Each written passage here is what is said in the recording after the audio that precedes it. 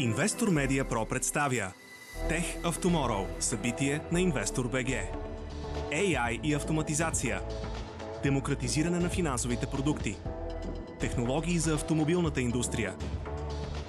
Of Tomorrow. 26 септември, 13.30 часа, Интерекспо център. Регистрирайте се на Инвестор Медиа Про БГ. Следете и фейсбук страницата на Инвестор БГ. Инвестор Медиа Про. Тук събитията се случват. Киберсигурността е едно от най-големите предизвикателства. Модерни заплахи представляват риск не само за устройствата ни, но и за самите нас. Това е една от темите на събитието Tech of Tomorrow, което ще се състои, както разбрахте, на 26 септември. Мой събеседник по темата е Борис Гончаров, един от говорителите на форума. Здравейте, добре дошли. Здравейте. Колко сериозни заплахи има а, в момента в а, мрежата? Аз всеки ден чета за различни рискове, които вие, специалистите по киберсигурност, а, казвате, че съществуват, но какво се промени в последните месеци и година, може би, и колко а, сериозна е ситуацията в момента? Започвам отзад напред. Колко сериозна е ситуацията? Според някои изчисления, за 2025 година проекцията като загуба от киберпрестъпления, още от кибератаки, е цифра от порядъка на 10,9 трилиона долара. Ако това е Съвсем е, сериозно. Ако това е държава, тя е третата економика в света, принципно. Така че колко е сериозно, да, много е сериозно. Е, това е просто цифра, разбира се, но тя индикира за какво говорим всъщност. Какво се промени? Промениха се няколко неща. Естествено с появата на масовата употреба на генеративен изкуствен интелект и въобще на машин learning модели и така нататък. Тяхната демократизация, тъй като в момента не всичко е чат GPT, не всичко е големи модели, които ги представят големите компании, но има доста вариации на тези модели, които се използват масово от който може, а тези хора са доста всъщност. Така че това се промени.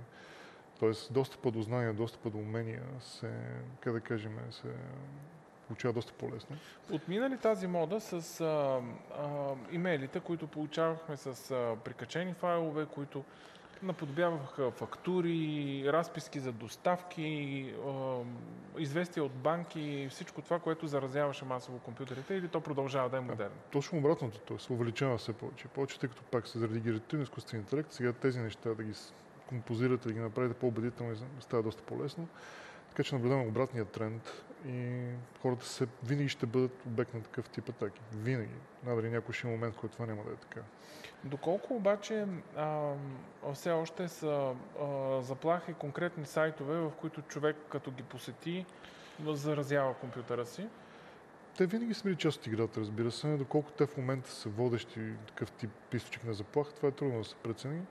По-скоро по-голям риск са компании, които да речем са нормални бизнеси, които биват компрометирани по един друг начин, те дори не осъзнават този факт.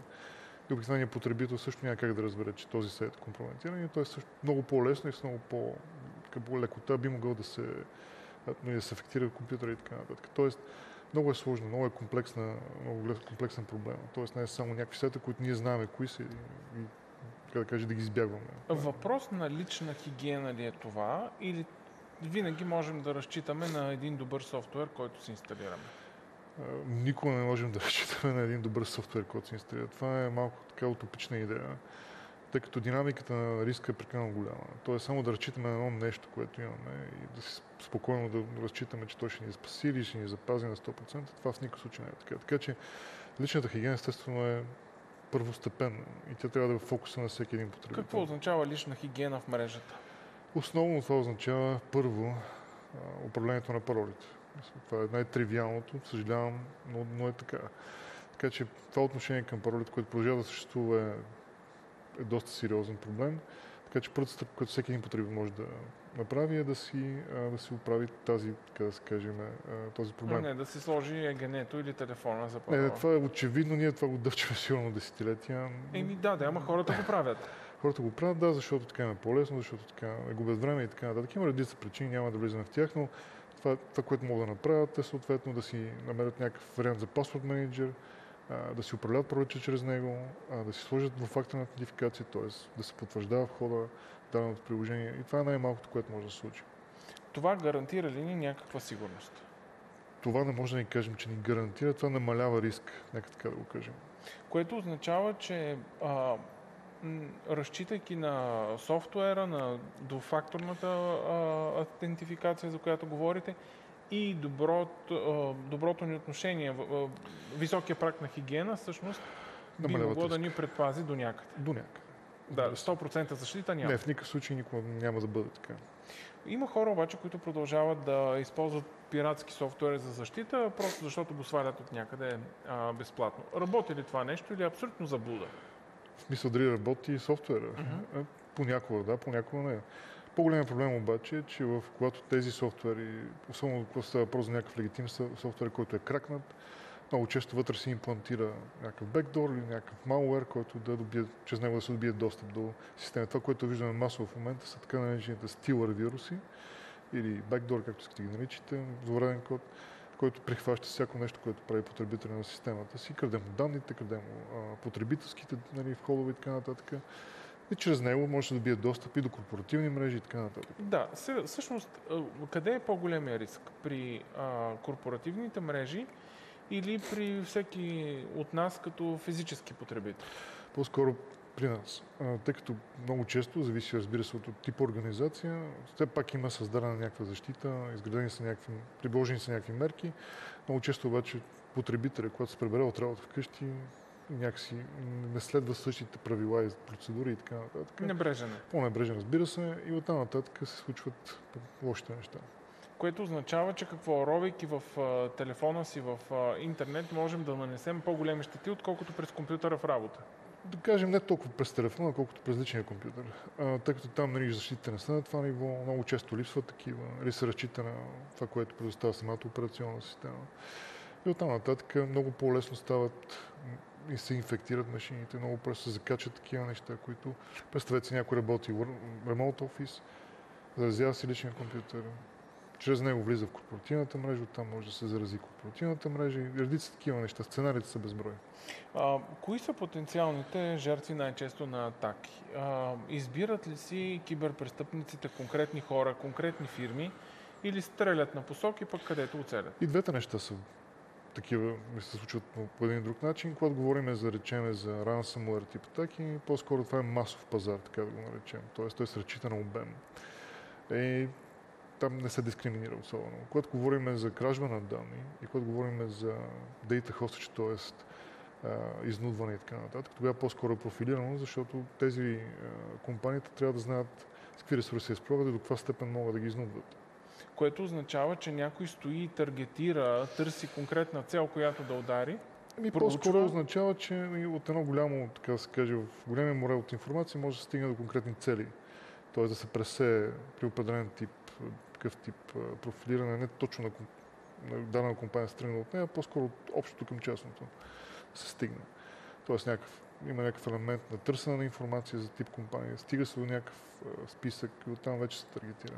Доколко а, вложенията в а, киберсигурност дава някакви гаранции? Защото и с вас, и с много ваши колеги сме говорили за това, че има бизнеси, които инвестират страшно много пари в това. Има други, които са по-небрежни гаранция ли, е, когато вложиш много пари в киберсигурност, че няма, не може да бъдеш пробит? Е, по принцип това да мятаме пари върху срещу проблема никога не е добра идея. Просто е така. Очевидно е, че това е комплексен проблем, който свързва технологии, хора, процеси и така нататък. Тоест, самото закупуване, акта на закупуване на някакъв тип продукт за сигурност не гарантира автоматически, че риска се Не е задължително да е продукт, може да е цял екип, който да, да, това да работи. Да, има голямо доста субективност в тези процеси. Има до голяма степен неразбиране и така нататък, лимитирана експертиза. А, така че по-скоро не. Не казвам, че липсата на, инвести... липсата на инвестиции по-скоро води със себе си до, как да кажем, до, а, до сериозни последици, тъй като тогава вече не се адресира риска по никакъв начин. Има много интересно изследване, което твърди, че е, когато повече има инвестиции, те са целенасочени и са добре осъзнати, тогава ли реално има редукция на риска по отношение А не, просто на посоки хвърляме Не, не, пари. просто така да си купим нещо. Не, не дава резултат. Да. Какви са рисковете, които съществуват пред а, децата? Само преди няколко дни в това студио говорихме за а, това, че сигналите от а, деца, за това, че са станали жертва на а, педофилски мрежи, а, за това, че са били изнудвани, стават все повече. За съжаление, да. И тази тенденция се засила всяка година, за съжаление. Категорично подобен тип хора, педофили, хищници, такъв този тип хора, се възползват максимално от този тип мрежи и таргетират очевидно нашите деца. Аз имам две деца. И съответно мисля Какво им казвате? Какво им казвате, То- за да се предпазят? Това е непрекъснат разговор, смисъл. А, докъдето мога да стигна като обяснение, разбира се, зависи от възрастта им, защото не може да кажеш всяко нещо в детайли, но обясняваме доколкото е възможно, колко могат да го разберат, какъв е проблема, какво трябва да направят, как да действат и така нататък. Отделно имат тормоз спрямо децата непрекъснато. Това са неща, които много трудно се преодоляват, но трябва да могат да разпознават червените флагове, така да ги наречем. Това е най-важното. И да могат да дигнат ръка и да кажат нещо се случва. Има проблем. Да, да. Ние самите обаче като потребители а, колко сме отговорни и доколко тези съвети, които преди време а, така бяха много често давани, не споделяйте информация в социалните мрежи, не пишете къде сте, не качвайте просто случайни снимки, всъщност може да ни опази по някакъв начин. Зависи какво има предвид. Може да ни опази до някаква степен. Примерно, ако някой непрекъснато поства къде се намира, на коя вакансия и така нататък, естествено, че увеличава риска от това да бъде обран физически. Примерно. И такъв тип постване, ако се редуцира, може да намали този риск. А, но като цяло, ние като потребители, и говори за себе си, разбира се, а, ние някак сме се оставени сами на себе си да се оправяме. Големите компании няма да се погрижат за нас по начина, по който ни се иска, по начина, по който ние очакваме. Така че в общи ние, ние сме оставени така да се справяме с проблема сами и непрекъснато да, да мислим какво да направим. Така че всяко едно действие, което по един или друг начин намалява нашата изложеност на риска, е добро действие. Това означава ли, че дори ако сме по-пестеливи в споделянето на информация и това се случва в чат канали, Viber, Telegram или в затворени групи, риска е по-малък? Колкото, по- колкото по-малко, че излагате личния си живот и личните си данни на показ, толкова по-добре. Това със сигурност е правило, което е неизменно. Така че това категорично е правилното действие. Нали? Но все пак не може да бъде абсолютизираме проблема и да кажем само ако еди колко си процента информация, като споделяте, това ще доведе и какво си. И това не, не работи точно така. Така че много трудно се прецени. Естествено, очевидните неща са очевидни. Не казвайте къде се намирате по всяко време, не казвайте какво се случва и така нататък. Има една тънка граница, която мисля, че всеки Хигиена. осъзнава. Да, всеки осъзнава къде е. която се нарича хигиена. Благодаря ви много за участието. Изключително ценни а, съвети. Още по темата може да видите на събитието Tech of Tomorrow. Както разбрахте, то ще е на 26 септември, а България е медиен партньор. Сред темите на това издание са изкуствения интелект, финтех, киберсигурността и технологиите на автомобилостроенето. Във форума участват водещи лектори. Това е финала на предаването днес. Останете с нашата програма, за да видите прогнозата за времето и централните новини.